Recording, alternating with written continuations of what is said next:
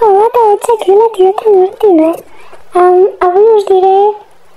És un vídeo bàsicament per us parlo només en català. Però avui us diré raons per la que m'agrada el so català. I crec que és un gran avantatge. Crec que és un gran avantatge. La primera raó és perquè sona com molt fi i a part, si vols aprendre francès ho tens molt més fàcil per l'ortografia, és clar, perquè la pronunciació això és una altra cosa, eh, noi? O no ja, això és una altra cosa i que és molt difícil el francès en, en la pronunciació, sincerament, però en l'ortografia no és tan difícil perquè també existeixen els apòstrofs, encara que hi hagi let lletres que nosaltres els catalans no, no, no posem, no escrivim. Um, sí que existeixen els accents, els dos accents, saps?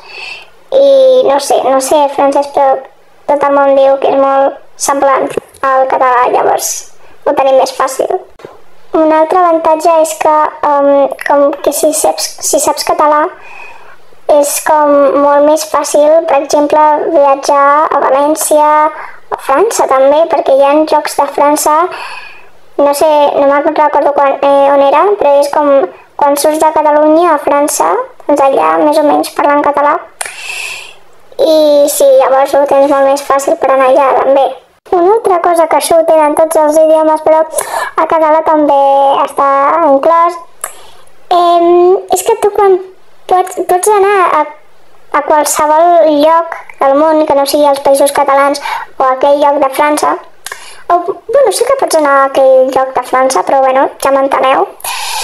Um, és que tu pots insultar i no et poden dir res perquè no saben el que estàs dient. Llavors és com més...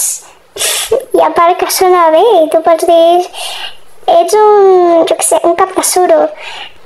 Això significa que t'estimo molt, no? I és com, ai, moltes gràcies, però no, li has dit que idiota en tota la cara. I això és tot per avui, espero... Sé que és un vídeo molt curt, però és que no tenia una altra cosa que fer més que l'speed paint. Uh, jo amb la bandera de Catalunya, sí, per què no? I més que parlar-vos.